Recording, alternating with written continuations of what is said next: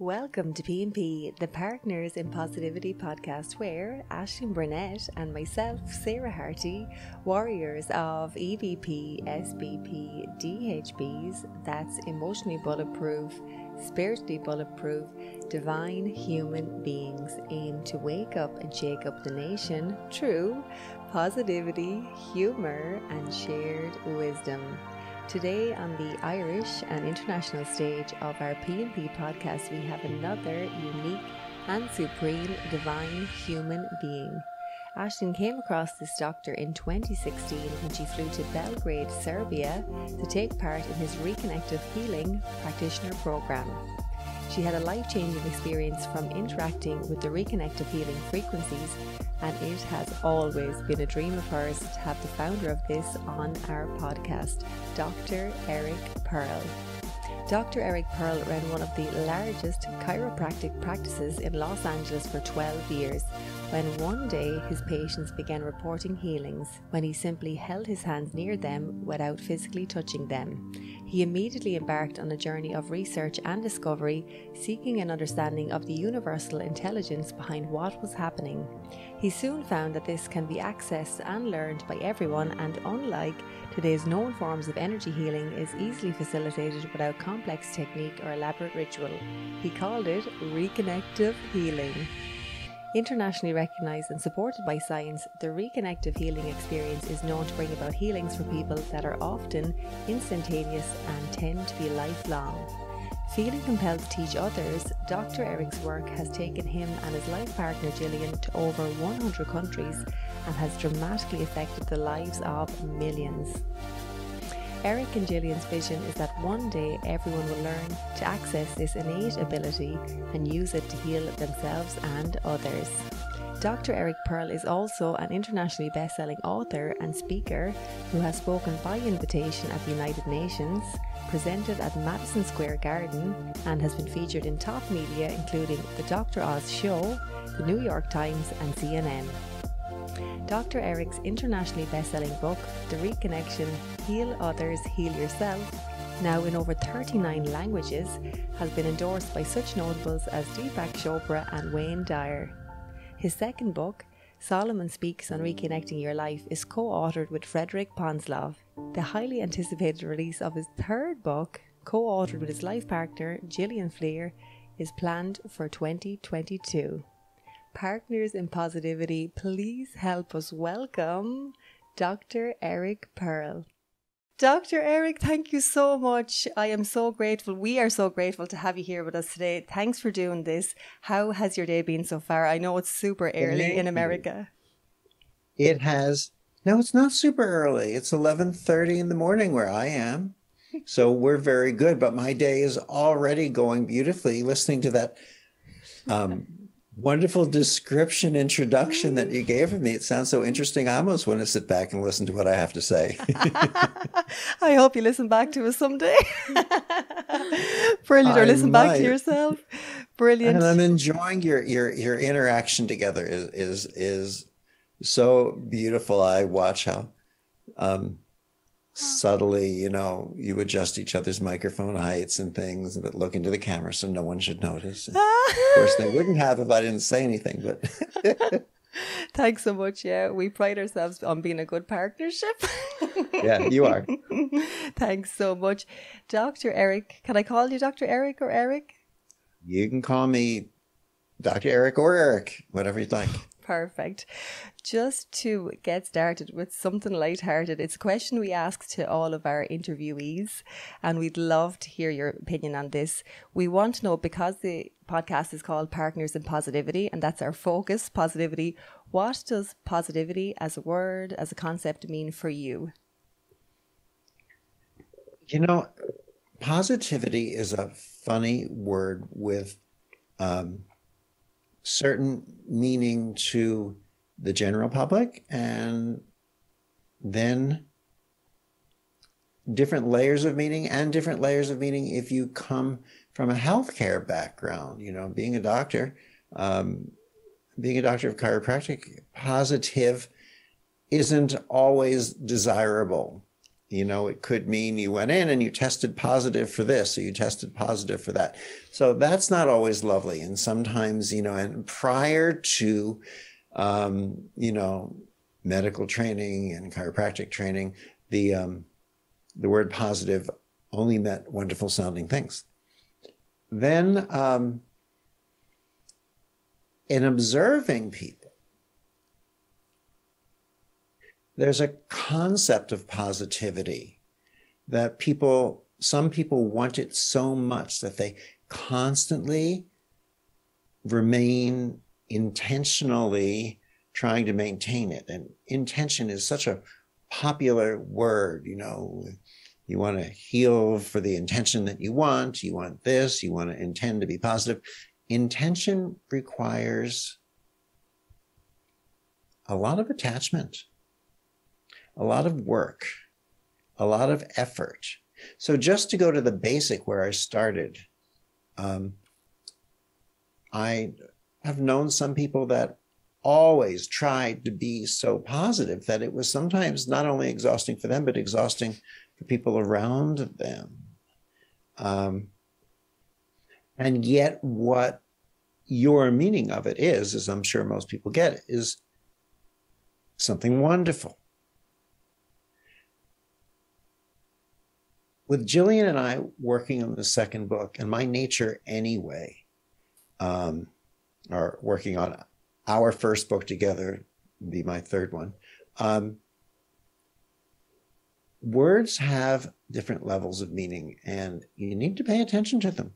And no matter how careful you are, you can say the same thing to three different people, and they will receive it three different ways. Um, as I remember once hearing Deepak Chopra say, I could pay you a compliment and you could choose to feel complimented or you could choose to be insulted by it. I could insult you. You could choose to be insulted. You could choose to feel complimented. So, partners, I love that. Partners in positivity, I think you're bringing forth your meaning most when we bear in mind the way different words can be interpreted differently and then share that. I know that when Jillian and I write or when we speak, we start with a group of people and then we lead them into different words, different ways of expressing things, different meanings that allow for greater understanding of oneness, let's mm. say. And when we start using certain words, we need to periodically explain them or re explain them when people who are new join our gatherings. Different thoughts. We think, of, well, first, let, us just use a common everyday one that doesn't even have to do with healing or anything. There's an expression, I don't know if you use this um, mm-hmm. in Ireland, but in, the United States, and a lot of people will say, you know, if you're coming up on a weekend or a holiday, they say, "Well, if I don't see you before the you know, if I don't see you before um, Christmas, have a wonderful holiday or have a wonderful week." Do you say things like that? Yeah. And what I think is, oh, well, I hope you don't see me before Christmas, uh, because I do want to have a wonderful week. And you just told me if you if you don't see me, I can have one. So if you do, I'd better look out. What are we saying? And we don't always listen. Um, in the healing world, we talk about sending a healing And yet, sending is a separation. Yeah. I can't send you something unless I am here and you are there.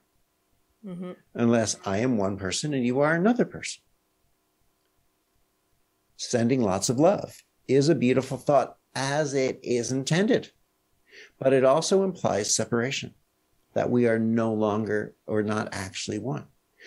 Connecting, connection, we are all connected sounds good, but to be connected, you have to be two. You need two to connect. When you are one, there's no connection because you mm. are. So you see, what's the level of depth you, we want to explore our communication? Or can we reach a level of understanding that maybe our words shift? What is oneness? It's unity, it's love. When we send something, it's that separation concept. Separation implying otherness creates concepts. For example, let's jump right to this one of fear or insecurity. Mm. This is part of the reason that you see, reconnective healing is not a technique. Reconnective healing experience is not experienced through technique. It's we I guess the closest word we can come to it, it's it's an approach healing, but it's not a technique. A technique is you do step A, you do step B, you go clockwise, you go counterclockwise, you do this, or you do that, or you do it the other way. And then if you're going clockwise and you're flying to um, Australia, when you cross over the equator, do you have to go the other direction? I mean, you know, there's mm-hmm. all these crazy things. Um, it's oneness, it's unity. So you receive. If you want to send, do you send something to yourself? How can you? I mean, you stand on one side of the room, you send it, run to the other side of the room and catch it. you are you. You simply receive. So we receive as oneness. You are me, I am you. We receive, we are one being. And there's no fear in that. There's no need for protection in that. In a relationship that is true love, do you protect yourself? No, you don't protect yourself. What are you protecting yourself from? Love? Of course not. Whenever there's a protection, there is fear. You know, in the healing world, um, so many techniques say, you know, do this to protect yourself, do that to protect yourself, wear this to protect, wear that to protect yourself. And all that really does is it brings about cognizantly or subliminally the concept of fear. And people say, oh, no, no, we're protecting ourselves out of love. Really? I don't protect myself from anything that I'm not afraid of. Why would you protect yourself from something if there is no fear. And does healing reside in love? Or does healing reside in fear? Mm. So when we are willing, reconnective healing, the experience dissolves the illusion of otherness and allows everyone to receive. And when one person receives, everyone receives the person you're next to who you love as your friend receives your parents or your kids who you may love receive the neighbor across the street who causes you problems all the time and complains if your your dog is barking too loudly well they receive too and because we really are all one and we see ourselves in them and we see them in us and when you say that the people around you receive also when you go through your healing, is it because that you have healed and they're benefiting from you being a more evolved version of yourself, or that you're approaching them differently, or just in terms of energy that something has shifted? Did you first say because of the field? Is that the word you used? No. Oh, I didn't hear you say. Okay, I'm sorry. Um, listen, What's the meaning of around you?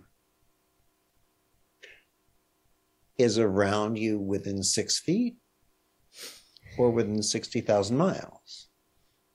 Yeah. Is Saturn or Pluto around you? so, you know, here yeah. we are living in the world of illusion, four dimensional time mm-hmm. and space, the illusion of distance, the illusion of space and the illusion of time. Because you see, you cannot have distance without time. There's no yeah. way to determine it. You can't have time without distance. So, any change, anything that you receive, is received in beingness our growth, our becoming more is everyone's growth and becoming more. How and why are natural questions. Mm-hmm. And they may be limitation just by question or discovery. Because as soon as we figure out how or why, we place that answer into our how or why box. Everything in that box is correct. Everything outside that box, uh uh-uh, uh, it's not the how or the why. So we feel we've got the answers and we look into our box. We don't allow ourselves to look beyond that The funny thing is, our answers answers. Or are what we take as answers really building blocks to allow us to ask better questions? Does our growth come from those answers that we put in our little how and why box? Or maybe, as I might suggest, our growth comes not so much from the answers as it does from the questions, mm. from the mm. asking of the question.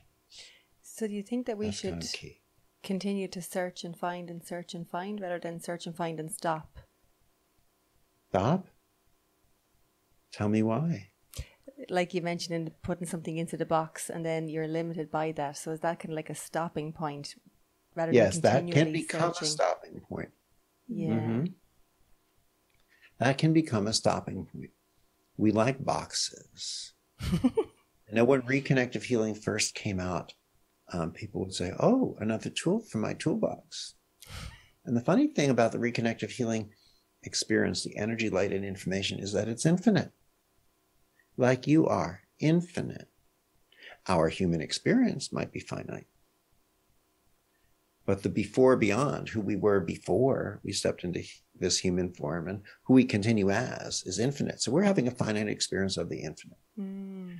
So sometimes people say, "Oh, I think I'm going to take reconnective healing and I'm going to learn that and I'm going to add it with this and that and the other and there'll be no wonderful tools in my toolbox." And the funny thing is, is you can't place the infinite into a box, can you?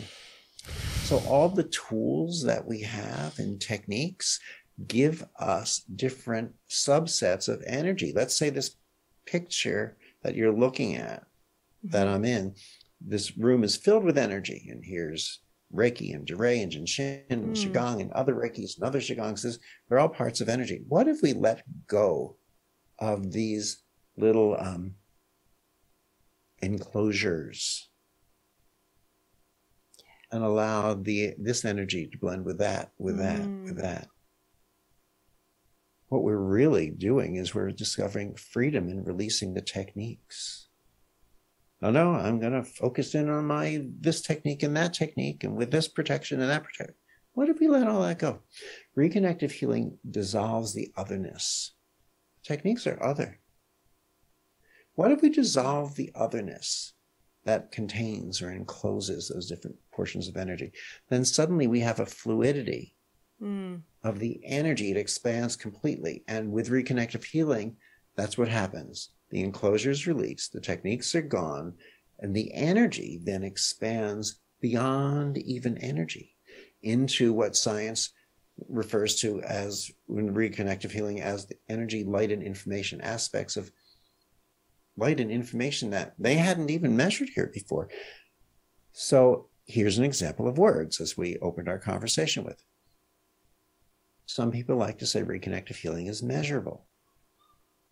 They're correct to a degree, but they're not correct in where that word leads you. Because measurable, here's a cup, so you can measure it. There's a top, there's a bottom, there's sides. Yeah. Mm-hmm. You can see the middle and the end and the edges. You can measure that the reconnective healing and the energy, light, and information that is reconnective healing, call it God, love, the intelligence of the universe, call it hell, and it doesn't care. We can measure that it exists but we can find no beginning, we can find no end.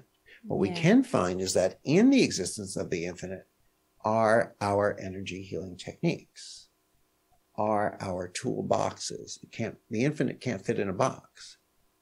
But our toolboxes can certainly fit yeah. in the infinite. Mm. And sometimes it's just we're so used to saying certain things. We don't always listen to what it means. We talk about we're running the energy. Where are you running it from? Colorado? Yeah. I mean, mm-hmm. it, it just, the energy, light, and information that is reconnective healing is. It just is. Now, just the use of that word is, I just watched your faces. See where you went? You started to look for what is is. Yes. Isn't that cool? Guess what we don't do? when we hear running energy, we don't look for it. We've heard it. We've acknowledged, oh, there's a word we use, da da da da da, sending yeah. love, there's a word we use, and we go on. Find meaning and dare to communicate it in words that might really express something and see just as Mm. you're doing now now we start to explore this is our growth if we say the same thing over and over again really you know where are we going Amazing. Hi, Dr. Eric. I'm so happy to have you here with us today. So, I've learned so much from you about reconnective healing, and I know you spoke a bit about it, but how would you explain what reconnective healing is to people? as best as possible understanding where we've just come from in this conversation. Reconnective healing is it's freedom.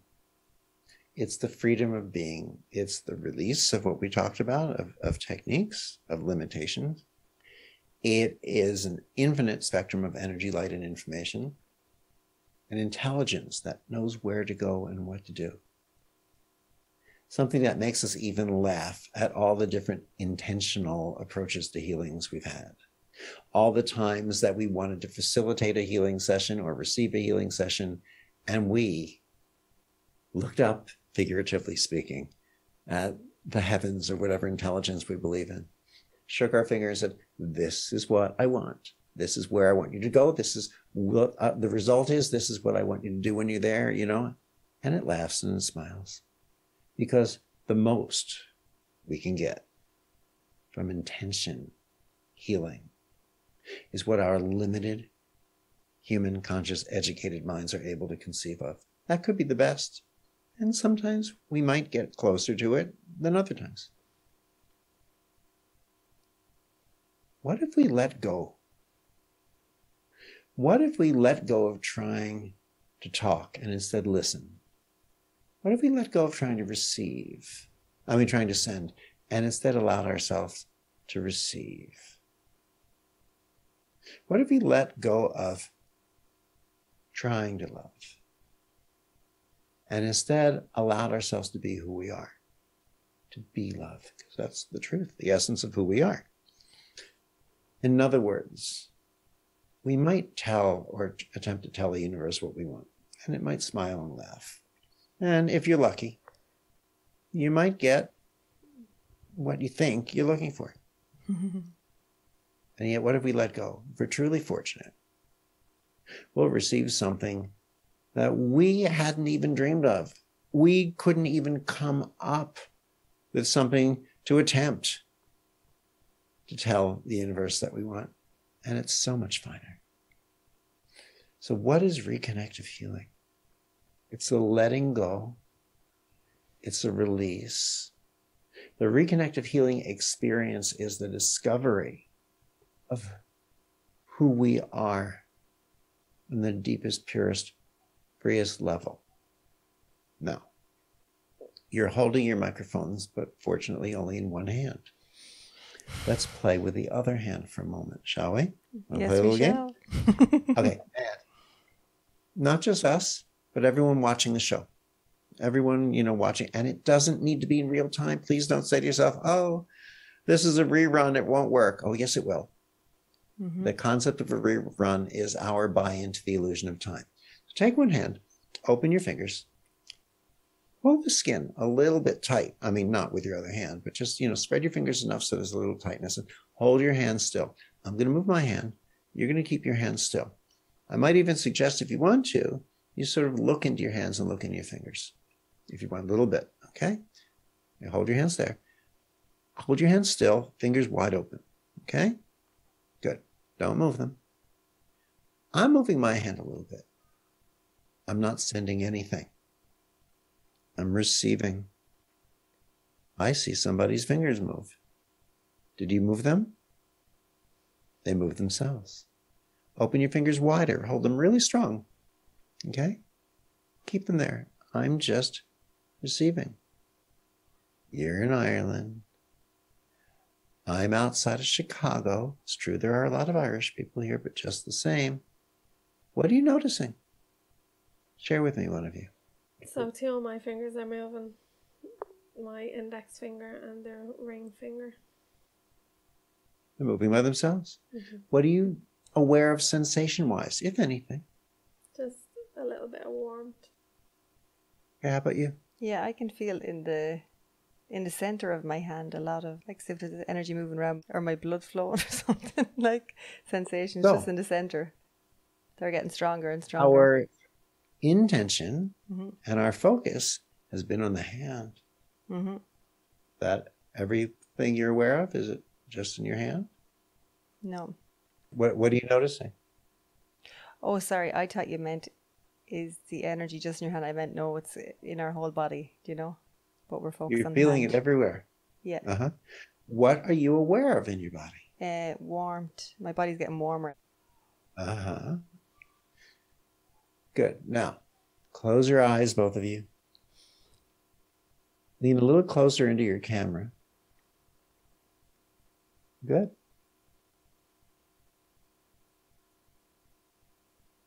Are your eyes still or are they moving? Moving. Moving.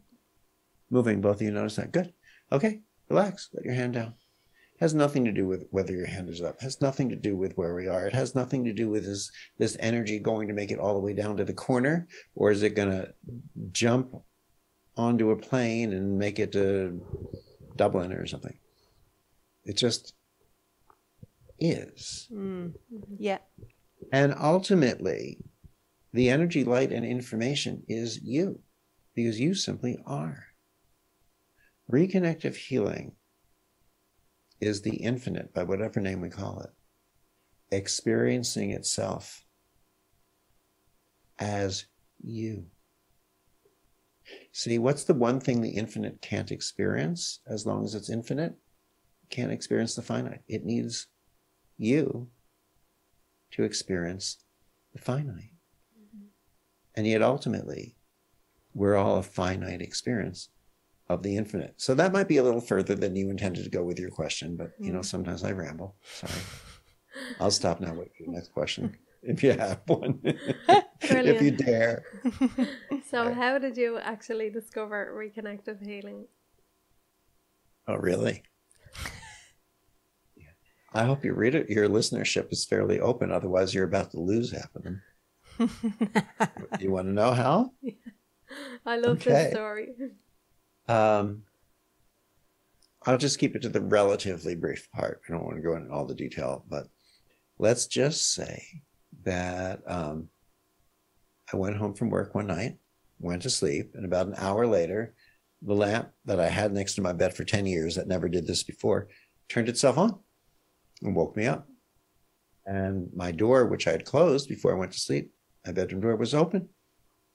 And I felt the presence of someone in my house. It was rather clear to me. So I stealthily got up and found, got my hands on the largest knife that I could, found a can of pepper spray, which actually was empty from a self defense class I probably took 15 years ago, but I thought it might make me look defensive. I mean, offensive. No, I can look offensive and defensive. It might make me look as if they better stay away from me. How do you Mm. like that? Okay. Um, and uh, my Doberman pinscher who decided to hide behind me. And we went searching through the house and couldn't find anyone. And so finally, even though it felt like someone was there, I decided it had to be an illusion. I went back to bed and I went to turn my lamp off. Now, I'm a little, you know, you might call OCD ish. You know, you turn the brown button on the lamp on, you keep turning it until it clicks. You turn it off, you click it off, click on, click off, right? And that's what I do. I click my switches, I close my drawers. My toothpaste cap is screwed on, it's not left off. Um,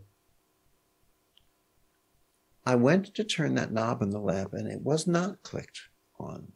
It was only rotated enough for the light to turn itself on. I knew that wasn't me. I thought, well, they let me wake up in the morning, they let me wake up. And I went to sleep. hmm That Monday, I went into my office, and when I walked in, the first things I remember my employees asking me, I have no idea why they asked me this, was what happened to you after the over the weekend? You look so different, you sound so different. And I thought, well, I don't know. I sort of, you know, didn't want to delve into all of my experience. And there was much more to that experience, as you know, if you read the book, The Reconnection. Um, so I just smiled and went into the first room, adjusted my first patient. And as a chiropractor, I would start with my patients lying on their stomach. I'd adjust them down their spine. I'd turn them over on their back, finish at their neck, and then say, now allow your eyes to close and relax for the next 30, 60 seconds or whatever. Let your adjustments settle into place before you get up. So people don't just fly right off the table, but they actually, you know, allow themselves to be present. How's that for a novel idea, huh? When my first patient opened his eyes, he looked at me and he said, Who came into the room while I was lying here? I said, No, no one, no one. He said, No, the person who came into the room when I had my eyes closed. I said, No one came into the room. He said, I heard them. I said, They weren't here. He said, I felt them. I said, They weren't here. We went back and forth and back and forth. And finally, he said, Okay, but I knew he didn't really quite believe me. Anyway, figured he's having an odd day. Went in to see my next patient. When I finished adjusting her, she opened her eyes. She said, Who came into the room when I was lying here? I said, Nobody. Why? And she said, The person who came in. I said, No one came in. She said, I heard them. I said, They weren't here. She said, I felt them. They weren't here. Well, let's just say that on this one day, and this was my 12th year in practice, no one had ever said this to me before. On this one day, seven different patients insisted that someone came into the room, walked around the table, ran around the table, and two of them actually looked me straight in the eye and said it felt as if someone was flying around the ceiling. Now I figured, well, no one ever said this to me before. Seven patients in one day. Maybe I should pay attention. But I started observing other things in my patients that started that day. I could hold my hands near them, and just as your fingers started moving, their eyebrows or their eyes would dart back and forth and move, or their lips would start to go, or the muscles would pull at their face, or their their arms would mm-hmm. jump up and down. And and I found that I could sort of play with where I was, and they they, they sort of looked like marionettes. You know, I, I could really trigger it. So one one time I had one day I had a patient come and uh, not a patient, a friend come and surprise me at my practice. I said, "Come here, you got to see this." And as I'm walking down the hallway, you know, I I found that I could do play with the patients this way, and then go to the next room and leave the first one still doing that, and go to the next one and do that. So I walked down the hall and I said, "Look," and one patient was lying still. We're still out in the hall, looking out into the room, and I thought, "What am I just?" And their body started to move again. I thought, "This is just too cool." So patients would open their eyes after these sessions and they'd say, you know, I'm seeing colors I'd never seen before. I'm smelling flowers I'd never smelled. Um, what did you do? I said, nothing, and don't tell anyone. Other patients are calling me, mothers of children with epilepsy or cerebral palsy, telling me that their kids are walking and running and playing and speaking normally again, not having seizures and not needing their medications. Now, did this happen with every single person in the world who came into my office? No. Did it happen with a very significant number? Yeah. And um, science started coming out asking to study it. And they were taking measurements of what was coming out through my hands. And that's where they started talking about aspects of light and information they hadn't seen before. And, um, you know, I thought, gee, this is, I wonder what this is. I wonder what's coming through me. Then people started asking me to teach it. I said, teach it? You've got to be insane. I'm standing there waving my hands in the air looking like an idiot. I said, You go outside and do that. Tell me what your neighbors say about you, right? You know, it'll be more than stories about the sheep, I promise. So, um, all this stuff going on. Finally, so many people push to teach it. And I'm thinking, How can you teach it? It's yeah. it's a gift. You know the way we think of a gift? Yeah. We're very funny. We think of a gift as ours. I don't mean mine, ours, I'm going to keep it. We just think of a gift as something that belongs to a person, that it's just something special for that one person. So I got to this first um, adult school training course. I was going to try and see if I could teach it. I had all these notes, and I realized the notes were going to do me nothing. So I let everyone feel it in their hands and I started to show them how to use it and start to play. The people they would work with who were lying on the table, they would start having physical responses and they started having healing. So there was 25 people in this adult class that I then released onto an unsuspecting planet. and started getting so many phone calls. I had to get my very first computer to tell you this was a little while back. Um, and um, I tried not to give this a name because, as I said, you can't Yeah. put it into a box. And as soon as you name something, you say, this is what it is, and this is what it isn't. And uh, there were two things I definitely knew. I didn't know what it was, and I knew that I didn't know what it wasn't because it kept expanding. But the human personality, nature, the, the ego, not with negativity intended in that word. I know every time we hear the word ego, we think negative. See, that's there where we were in the beginning of our conversation again. Um, the ego is is important. The ego is of value. If this here tissue was the ego, it's not as if God was working over the creation of the human being and accidentally dropped something in and went, "Oops! Now I'll never get that out of the human." I mean, it, it's a lesson. It's it, it's not a lesson. It's a learning tool. We learn from balancing the ego, not letting it, you know, dramatically lead. But anyway, um, where was I? I was just leading you somewhere. You had named it, but it kept expanding. Oh yes, we couldn't. I didn't want to name this healing. It was nameless. It's Mm. nameless. People in Florida started calling it um, Eric Pearl Healing Technique. People in the Northeast of the U.S. started calling it Pearl High Frequency. People somewhere else, but everyone started creating a different name for it, and most everyone attaching my name to it. I knew a it wasn't about me. My name didn't belong there in it. And B, although it's nameless, giving it lots of different names is worse than allowing it to remain. Allowing it the gift of remaining nameless is one thing. Giving it different names doesn't allow us to talk about it or share about it. Yeah. So I knew I had to share it. I knew, you know, there was no benefit in me becoming one of those healers who lives in a cave in Tibet or, you know, somewhere else, you know, exclusive in the world. It was a gift for humanity. It is a gift of, of the awareness that we are. It's a gift of us being, we are awareness. We are, some people would say, you know, we're energy. You know, it used to be that the physical body was thought of as creating energy Mhm. or emanating consciousness or awareness. We now know that energy, awareness, such is who we are in our infinite. And then we form in the physical to have an experience of it here and we release. We, we are the physical form of energy, of consciousness, of awareness. And therefore, giving us the ability to touch the cognizant awareness that this is us, our essence, we suddenly realize that we can no longer place people on pedestals as if this is that special healer and this is that special healer. And people will say, yeah, but we, we'll see you when you present and you'll bring someone up on stage and um, to do a demonstration and they'll have all this medical history and documentation of their problem. And they've also been to six different healers and nothing happened. And they have a healing when they come to you. You have, must have some special powerful charge or energy. I said, no, you know what I have? I have the gift that you have that you're depriving yourself of. You're not Mm. allowing yourself to see. I have the knowingness that came from some of the experience. It's not because I practiced and got better, but from the experience and the situations I've been in of having to demonstrate in hospitals or in public.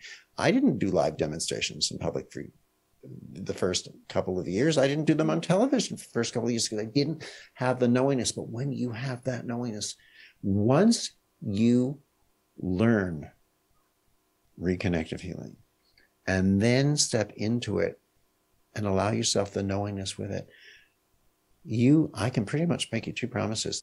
Promise one, you'll be able to do anything and everything in this realm of healing beyond energy healing that I can do, and anything and everything in this realm that any, any human being, no matter how famous, no matter how respected, no matter what their lineage, can do in this world. Because it is the fame, it is the lineage, it is the technique that lets you get somewhere, but it is also the limitation. It must be released. It's the glass ceiling that must be let go of. It's the training wheels Yeah. that help you learn how to ride the bicycle. And yet, as you know, you'll never master that bicycle until they come off. They don't, you don't get better from adding six more techniques or six more sets of mm. training moves. Yeah. Eric, from my own experience of life and becoming more conscious and aware, and also um, been in touch with my bodily awareness through meditation, maybe since 2014, I can see my growth, I can see my development or my higher level of awareness, as you say as well. Last year, I was with Aisling in Dublin and she did a reconnective healing session on me. Now, I would be very open minded and I've tried different things down through the years that my mother has put me on or um, has been sharing with me, like Reiki or tapping, different tools. And I love trying everything new, anything that helps the body and anything that helps healing or health in general. So when Aisling did this on me last year, we watched one of your uh, YouTube videos so I could understand what the concept is, what reconnective healing is, and then we went about having this session. But I have to say that for me, what I felt most of all was even after years of meditation, it was the first time in my experience that I could actually feel the switch of my mind the chatter that's present nearly all day, every day, just switch off. And I felt like we have a joke between ourselves that I went into the pond because I felt like I just that that constant chatter dissolved in a split second, and then I um just felt like I was in this pure peace of mind. Um, and it was a beautiful presence and existence to be in for that period of time. And that I feel like I was much more aware of that because of my years of doing meditation and I'm just wondering, do you need to have, or is there any way you can prepare yourself to receive the reconnective healing, or can anybody sit on the sit on a table or lie down and and receive it? Do you think? What do you think? I I, f- I feel like I had a greater experience with my own. I think um, my openness to it, my belief, and I think I think I allowed myself to settle more into the session and receive from Aisling because I had that experience of meditation and being able to be present. And I thought maybe things like that would help people along the way of being able to receive reconnective healing. We do think that because mm. we're told that. Yeah. Reconnective healing doesn't care whether you believe in it or not. It just is. It's like if you take a glass and put it on your kitchen table. Your table is going to catch and support that glass. And I can pretty much promise you the glass doesn't believe or isn't open to the table. it won't handle it any better whether you've taught the glass to meditate and relax and let go and be mm-hmm. than if you just took it out of a box and put it on the table because it is. You know, when people first started coming in to, um, when I was in television, before there were any books um, on reconnective healing, they'd come in and every once in a while there'd be someone who would look at me and say, I think this is a pile of garbage. I wouldn't be here if my husband or wife didn't make me come. I think it's ridiculous and you're a quack and you, all these things. And I said, well, you know what? You're here.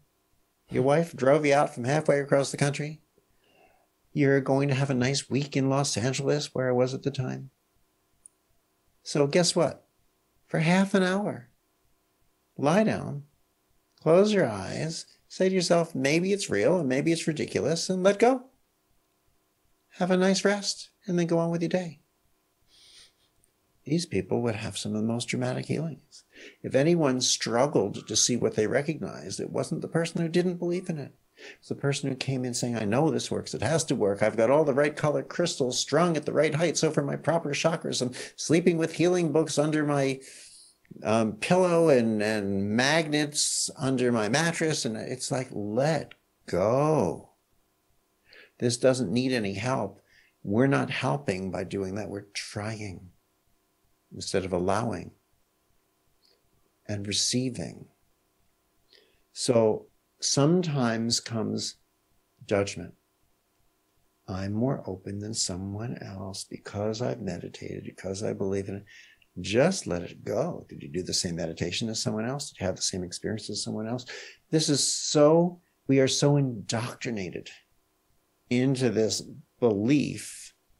And it's not that this makes us bad people, but it is different variations on the concept of judgment.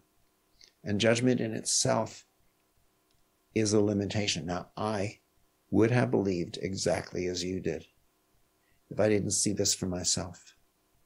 But when I started doing this, my patients were coming and going, What the hell is this? They never believed in it. They weren't looking for this. They wanted a chiropractor, and I thought I was one. You know, I went home that night before the lamp turned on. I thought I was a doctor, and you know, there I was. I woke up the next morning and I was something else. My parents always told me I was something else, but this was probably not what they were thinking.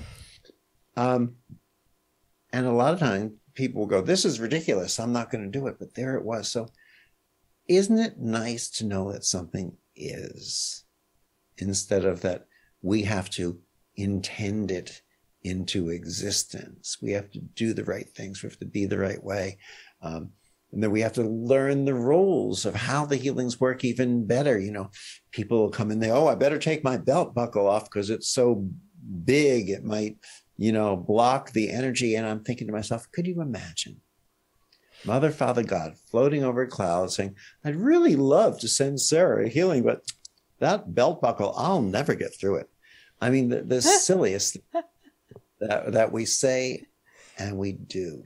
And we Mm. act on things. Even when consciously we can say, all right, um, I realize that I don't need to call in helper entities and this, that, and the other and do all these things. But, and I'll, I'll say sometimes when we're, when we're teaching presentations, I'll say, how many think though, even though you know all that, that we should at least call in God? And of course, everyone smiles, raises their hand. We should call in God to the healing session. Sounds good. Great. How many of you know that God is everywhere? Same hands going. So, well, if God is everywhere, where are you calling God in from? A department store? I mean, it's already every. So sometimes our thoughts, our physical actions, and our conceptual thoughts, sometimes we might just want to take a moment and say, are they matching our true beliefs? Are they matching the words we espouse? And I'm not saying it's always the most fun discovery Mhm. because sometimes that exploration can be a little uncomfortable. Maybe we're not sure we want to unearth some of what we are about to reveal to ourselves. Yeah. But wow, once we get it, now who do we become? That's really cool.